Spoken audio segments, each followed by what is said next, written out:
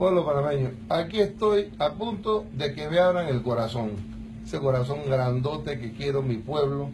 Y yo sinceramente doy todo lo que tengo por mi pueblo panameño. tuvimos un gobierno que cambiamos Panamá, lo hicimos bien, están persiguiendo políticamente, todo es una, una patraña y una mentira, pero no importa. Aquí estamos para adelante, aquí se me está prendiendo, me están tomando la presión otra vez.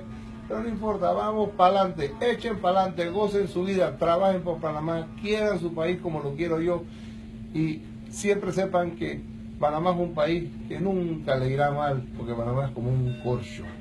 Siempre salimos adelante los panameños.